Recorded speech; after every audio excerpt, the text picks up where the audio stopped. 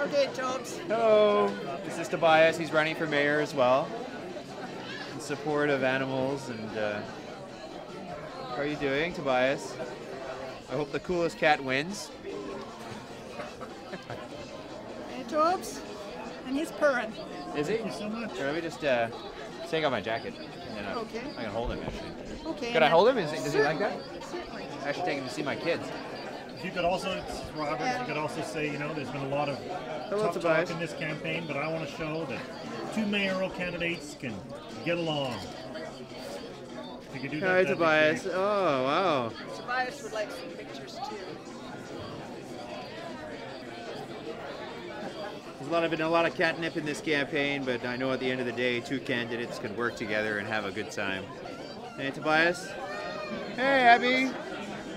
It's a pussycat. If you could see her face. Oh, he's purring. Oh, he's all warm and hot. Hey, you like? That's okay. Hey.